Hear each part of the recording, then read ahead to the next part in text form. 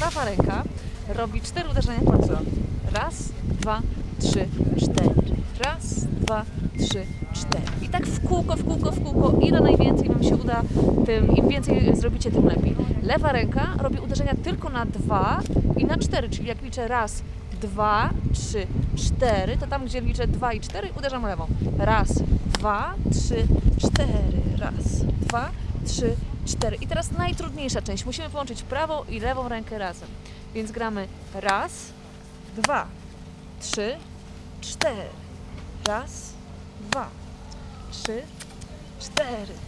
Raz, dwa, trzy, cztery. I tak dalej przez następną godzinę albo dwie. I później w szybszym tempie. Raz, dwa, trzy, cztery. Raz, dwa, trzy, cztery. Po to, żeby na drum fitnessie, żebyście, jak będziemy uczyć tego na drum fitnessie, żebyście już dokładnie wiedziały, co to będzie, żebyście się mogły przygotować i żebyście się mogły rozgrzać. Nie jest tak, że e, w- m, każdy to zaczyna i umie już od razu grać. Nie, trzeba poćwiczyć, ale efekty przychodzą. To Wam gwarantuję. Więc do zobaczenia już niedługo.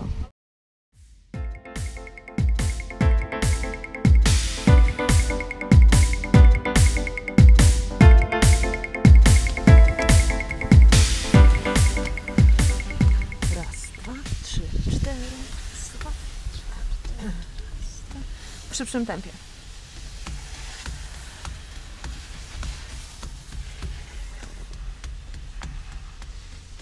W jeszcze szybszym tempie.